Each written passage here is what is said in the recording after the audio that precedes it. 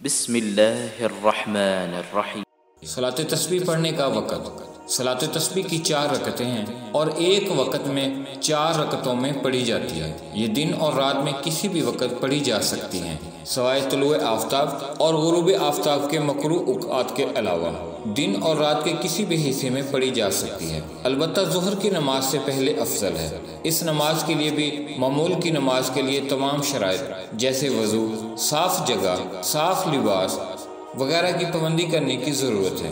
اس نماز میں اضافی چیز، وہ تسبیح ہے، جو نماز کے دوران پڑھنی ضروری ہے۔ استغفار کی تسبیح یہ ہے۔ سبحان اللہ والحمد للہ ولا الہ الا اللہ واللہ اکبر۔